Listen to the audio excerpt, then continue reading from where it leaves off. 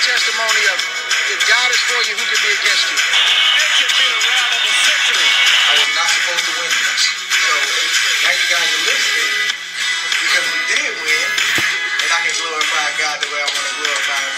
God. I can't believe what I'm seeing. It's the most unbelievable thing I've ever been privileged to witness. Welcome, welcome, welcome to another episode of 3D Boxing Podcast. We're back with quick hits. Um, I'm gonna, I like to say bold things. I'm gonna make some bold statements about um who the best 154 and one best 168 pounder in the world is, and a lot of y'all aren't gonna like it, but that's okay. Um, we're gonna get into that. Uh, but before we do, uh, please like, share, and subscribe. Follow 3D Boxing, 3D Boxing blog, and all forms of social media. Quick hits comes at you every day, eight to ten minutes a day to keep you up to date on the greatest and latest boxing news and rumors. All right, let's get. Uh, also, please subscribe to the other channel, Texas Boxing Scene on YouTube. Texas Boxing Scene. All proceeds go to autism research and recovery. All right, let's get into today's show. Uh, let's get into today's show. Um, all right, it's going to be simple. Um, David Morrell and Jesus Ramos are already the best guys in their weight class, and they could beat everyone in their weight class. And yes, I know that features two pound for pound guys. I know that is Jermell Charlo. I know that is Canelo. I know that is David Benavidez as well. Uh, Ramos and um, Morrell are already the best. Um, who do you want to start with? Let's, let's start with Jesus Ramos, right? Like Jesus Ramos. There's one fight which y'all didn't love was the Brian Mendoza fight. It's a lot better in retrospect now, isn't it? Uh, y'all, y'all love Sebastian Fundora. He was so good. He was the most incredible thing that we ever saw in our whole entire life. Uh, he was just like he was the, the best thing we ever saw. I mean, he was so good. He was the next all-time great fighter ever. Um, and then he ran into Brian Mendoza, and Brian Mendoza poster posterized him, destroyed him.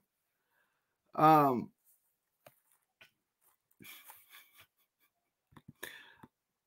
I, I, I'm I'm laughing right because this is the guy who maybe won a round or two with Ramos, maybe.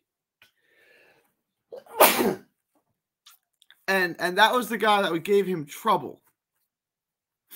Okay and he absolutely ices your favorite guy, but you're not ready to tell me that that he can beat Fundora, right? You're not, you know, Ramos is next. He's five ten, strong as an ox, right? And he's mobile. He's like a guy that size. You don't expect him to have the skills and the athleticism that he possesses. He can box off the back foot.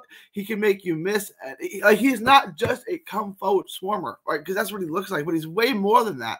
Like he is next level special. This is a guy that started not long ago, right before the pandemic, was fighting out 140. That was a massively strong 150. But look what he's doing to people. He destroys Spencer. He destroys Vladimir Hernandez. Destroys uh, Luke Santamaria. Right? Destroys Brian Mendoza. These are guys that high quality wins. I mean, these are top notch fighters. Uh, Ramos is, is already on that track. 22 years old. I mean, the kid's ready. He's ready.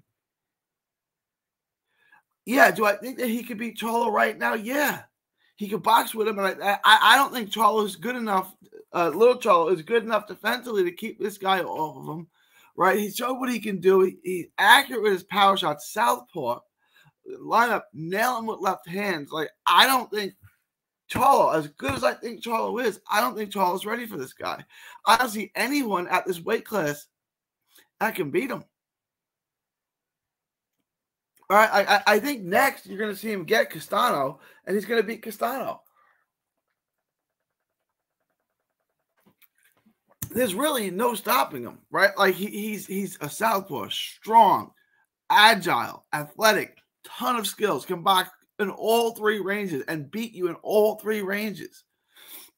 I've been saying this since day one. He beats his, he would beat Tszyu, he'd beat Charlo, right? He would beat Castano, he'd beat you know I don't know who. You want to put Danny Garcia in with him? Let's let's do that. It doesn't matter. He's too big and strong for these guys, and the bigger and stronger 154, he's too skilled for him.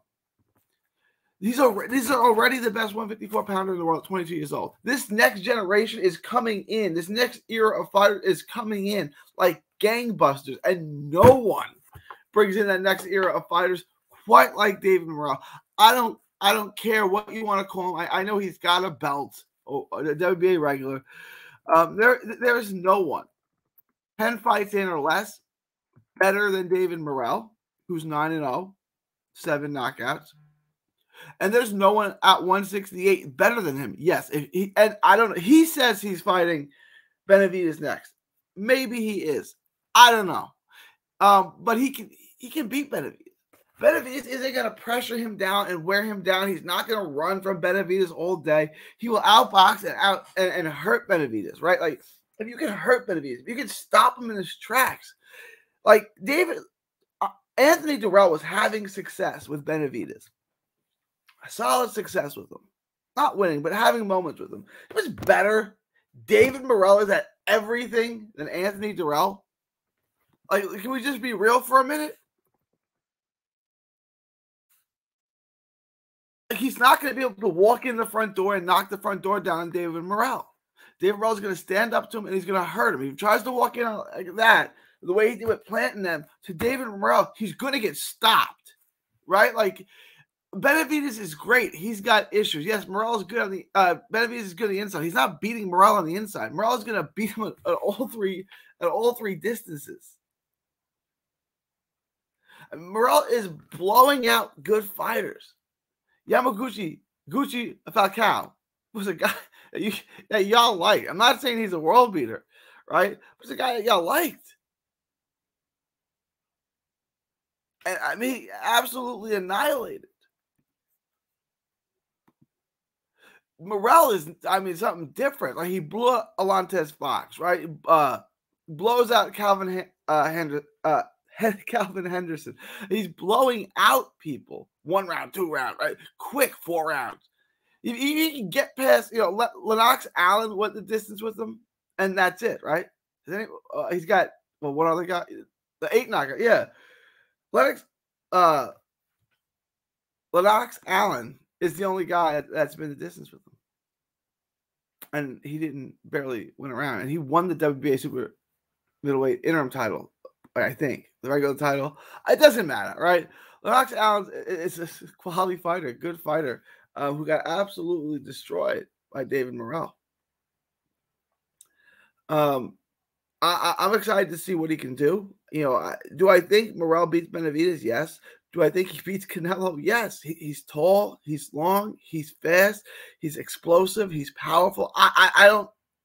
He's gonna beat. He's gonna use um Bivol's game plan outbox him at boxing with him at range, throwing first, landing first, and backing Canelo up. And he's going to do so in the southpaw stance, which is going to kind of nullify a lot. Canelo's great shotgun jab. It's going to nullify Canelo's jab quite a bit. You know, this is a guy with a 78, 6'1, 78 inch reach. I understand Canelo likes taller fighters, right? But Bivol's taller. He didn't have any success with Bivol. You know, like David Morrell is such a better fighter than Kovalev, who was beating him. I got knocked out in the 11th round, so it's fine. But like Morrell is something different. Morrell can run this to 25 years old, can run this division for a foreseeable future. For real, for real. David Morrell's next level. Next level. Uh, but let me know what y'all think. Leave your thoughts, comments below. Please like, share. Uh, what do you guys think? Uh, before we get into that, is this too soon? Do you think that there's anyone at 54 or 68 that can beat these guys? And, and tell me who and tell me why. Um, but uh, this next generation, it, it, it's their turn. They're up. Right? You're going to see Haney beat Loma. Right? You see this next generation, they're coming in. They're up. Uh, let me know what you guys think. Leave your thoughts, comments below. Please like, share, and subscribe. Follow 3D Boxing, 3D Boxing blog, and all forms of social media. Quick Hits comes at you every day, 8 to 10 minutes a day to keep you up to date on the latest, greatest boxing news and rumors. See, Charles right over my shoulder. See, he's, he, he's right there. Right? He's not beating Ramos. Um, from, uh, please also subscribe to Texas Boxing Scene on YouTube. All proceeds go to Autism Research and Recovery. Um, please subscribe uh, to the other channel as well, Texas Boxing Scene on YouTube. It is February, no, it's not, it's April 25th, 2023. From Texas to the world, thank you and God bless. Don't miss a tweet, post, story, or video. 3D Boxing is on Twitter, Instagram, and Facebook. Hit the subscribe button now to stay inside the ring.